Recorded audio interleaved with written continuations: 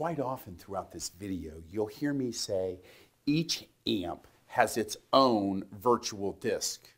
What we want you to really understand about this is an amp has a place where it writes its data, the rows assigned to it. Of course, each amp has the same exact tables as its counterparts, but they hold different rows. But a shared nothing environment means each amp's like its own computer. It processes, has a little operating system, it's got its own memory, it's got its own disk, it's attached to the BYNET 0 and the BYNET 1, and that's why Teradata is so beautifully scalable. And in every picture you've seen so far, you've seen the amp and its disk. Well, let me tell you what, that's its virtual disk.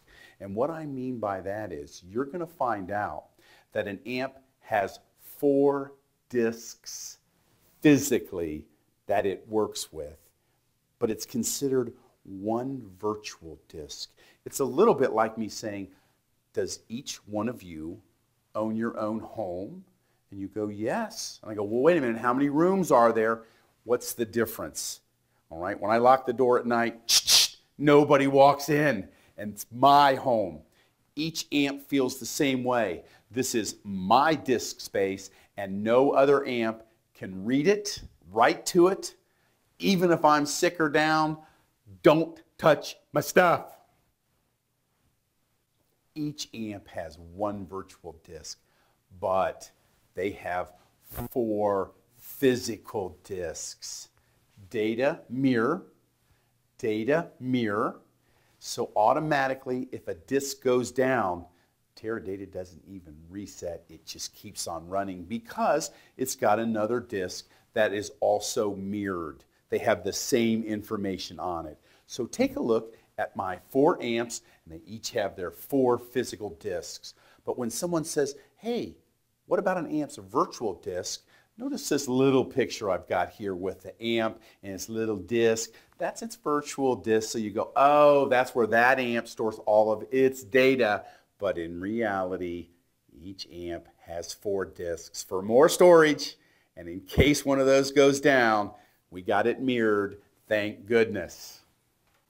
This picture is designed to give you a great visual of the difference between a virtual disk and four physical disks and how the mirroring takes place. As you can see in this picture here, we've got our little amp and its disc, and you could say, oh my goodness, how cute. It's got six tables on it. Physically, how's that really stored? Look at the bigger picture with the four disks. Three of those tables are on disk one, and then there's a mirror of that. Three of those tables are on disk three, and then there's a mirror of that. We've got our six tables, and the disks are mirrored. This has really nothing to do with fallback. You go, didn't we already cover this duplication of data? Because again, there's a 50% overhead for the mirroring. But this comes automatic. The minute you get a Teradata amp, they go, that's got four disks, those are mirrored, and you're going to be protected from a disk failure. Well, with fallback, if you're paranoid that you could lose two disks or an amp actually corrupts in memory, that's why you would get fallback. That's additional protection that says, yes, I want fallback on this table, copy my rows of this fallback protected table to my buddy amp. That's double the protection in case the amp goes corrupt or you lose an amp's disk and its mirror. I can actually lose two discs if I'm feeling lucky, one of the first two and one of the second two, and everything's working just perfectly. And when an amp goes to read a table, it can actually read it from either the disk or the mirror. When an amp goes to write its data, it actually says, disk, I want to write this block that's in memory down to disk.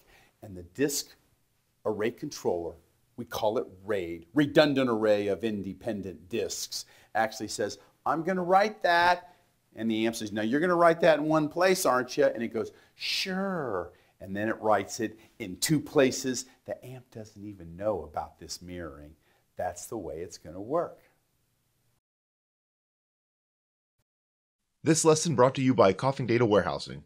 Need a query tool that makes joins easy? The Nexus has a join builder that turns the most complex joins into child's play. The Nexus Query Chameleon, making connections easy again. Visit coffingdw.com for more information.